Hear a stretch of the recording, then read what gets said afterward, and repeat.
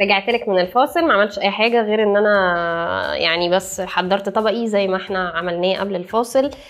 آه، عيش تورتيلا فراخ صوص باربيكيو بصل ملح وفلفل. عملنا يعني لو زمايلي بس هنا الكاميرامان يقدروا يجيبوا لنا. بصي والنبي من جوه فتحه النفس. يعني بصي فتحه النفس. يا سلام. يعني أنا مش هتكلم كتير. لأن أنا لو اتكلمت كتير ممكن آكل وأنسى باقي الحلقة اللي أنا قاعدة أعملها دي. فتعالي آه، قبل ما يبرد كده آه، نعمل معاه حاجة بسيطة قوي يمكن يعني الجبن شوية الناس بتستتقلها وبالذات إن أنا قلت ممكن تعمليها عشاء. أقول لك اعمليها غدا واعمليها فطار اعملي كل اللي انت عايزاه فيه لأن هي سهلة قوي وطعمة جدا جدا. هنعمل آه، صوص أو دبن جنبها كده من الآخر. بصي بقى.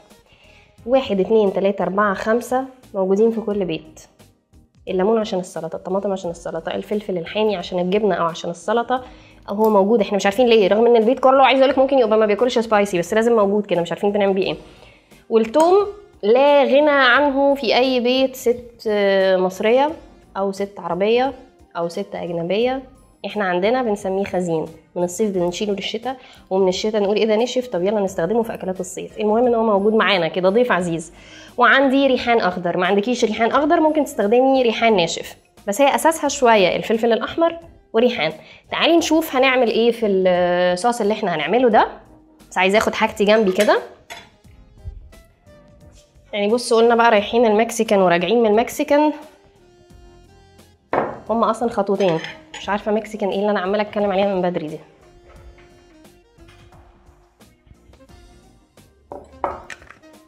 اللي هعمله؟ في كبه في خلاط آه، إن شاء الله حتى تعمليها تقطيع كده حاجات رفيعة يعني. اللي هعمله؟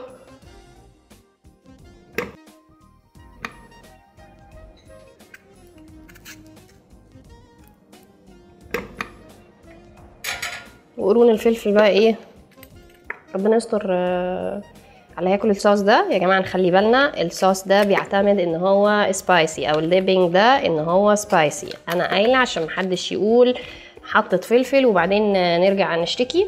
وعايزة أقول لكم إن معظم الدول العربية مثلا زي تونس مثلا ما بيستغنوش فعلا مش هزار ما بيستغنوش عن الفلفل ده في بيتهم. بيعملوا منه هريسة وبيدخلوها جوه. يعني كل الأكل بتاعهم عشان كده ما شاء الله الله يحميهم آه، عندهم ال immunity عالية شوية وما بياخدوش برد كتير. فاحنا اللي يقدر؟ اللي يقدر. ممكن ياكل spicy كده مرة ولا حاجة في الأسبوع يعني. وهحط كام فص توم كده. وعصير ليمون. مش كتير أنا عايزة ال- الصوص ده أو الدبنج ده يبقى تقيل شوية يعني. وأحط شوية ريحان. أنا ريحان حطاه في مية وتلج عشان بس لونه ما يتغيرش مني اللون الأخضر الحلو ده.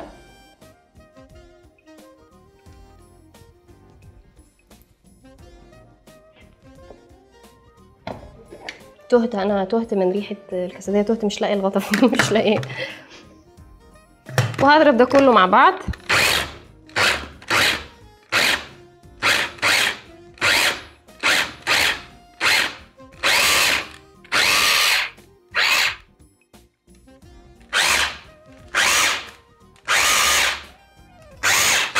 يا جماعة الخلاط مش بايظ. إحنا حاجتنا في مطبخي من خمس مقادير كلها فل الفل وبراند نيو أنا عايزاه يتقطع أكني فرماه بإيدي. عشان كده عمالة ألعب في في الكبة ولا في الخلاط بتاعنا ده.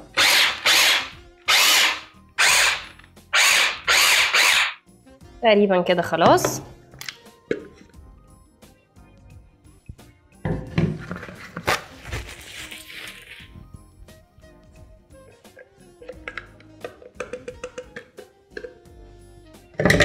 هحاول بس على ده.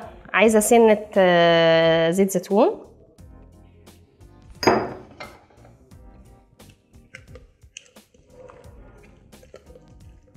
يعني شكله حلو وريحته حلوة و وأنا أضمن لكم ان طعمه حلو جدا جدا جدا. إحنا ممكن بس إيه في حتة طماطماية هنا وعصلجه نطلعها كده.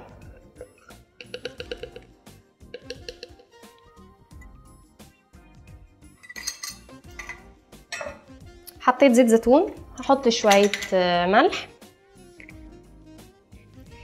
ناخد بقى حاجتنا كده إيه علشان آه، نكمل ونقدم آه، الصلصة بتاعتنا أو الديبنج صوص اللي إحنا عاملينه. حطيت شوية ملح.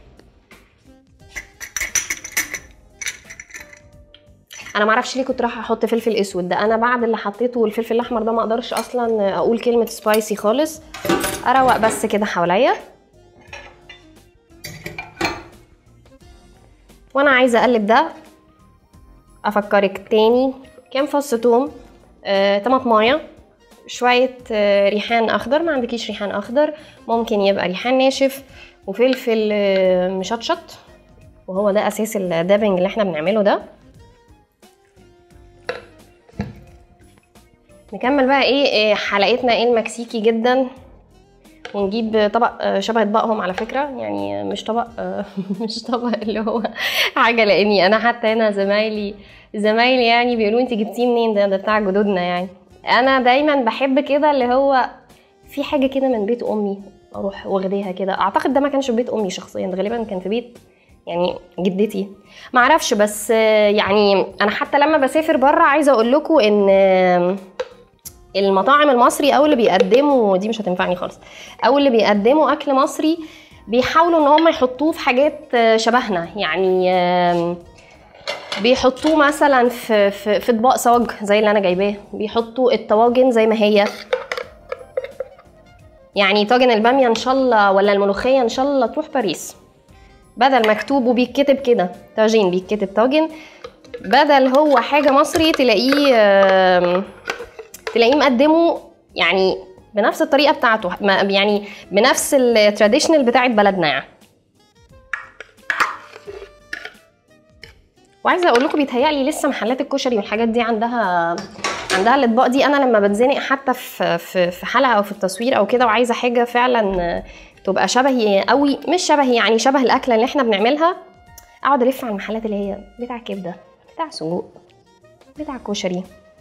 هتلاقوا هتلاقوا الحاجات دي.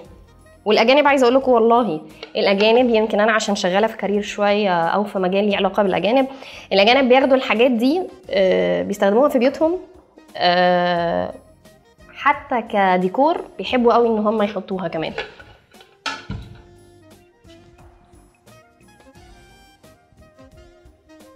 اللي هعمله بقى دلوقتي كده. أحط بس ده كده.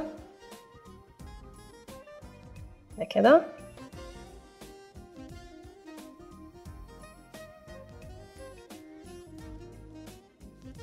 مش تقف ليه؟ بلاش خالص. يعني مش هتيجي على آخر حاجة وتروح مضايقانا كده.